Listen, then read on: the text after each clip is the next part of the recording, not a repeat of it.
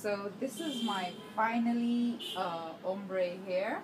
I hope it is covering my hair completely. I cut a little bit of my hair for the requirement of making it even and um, what I thought exactly I couldn't bring it out because of uh, the color I bought for some reason it didn't came out exactly what the color it is showing on the cover uh, I showed you in my previous video the ombre hair color from L'Oreal.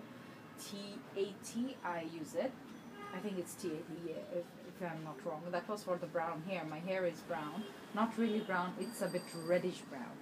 Original color. So what I did uh, up to this part I had to color black.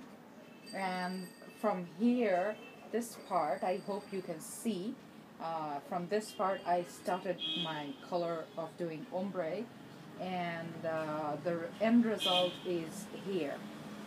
Uh, my problem is here I can see. It will be fine after I wash I, I give a several wash. I had to bleach it first. Otherwise this color won't come like this. Uh, because at the end it's so light.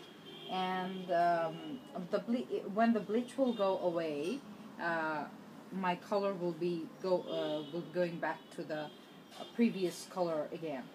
So that's how it is but uh, so far up here I liked it. If you can see my whole hair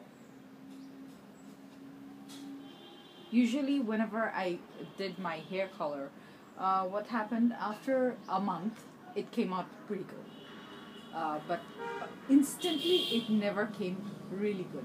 Only except the highlighting part. Uh, that time uh, my hair looked really good. But for any kind of hair color trying the hair color I did my hair color uh, from here. This part up to here I dyed black.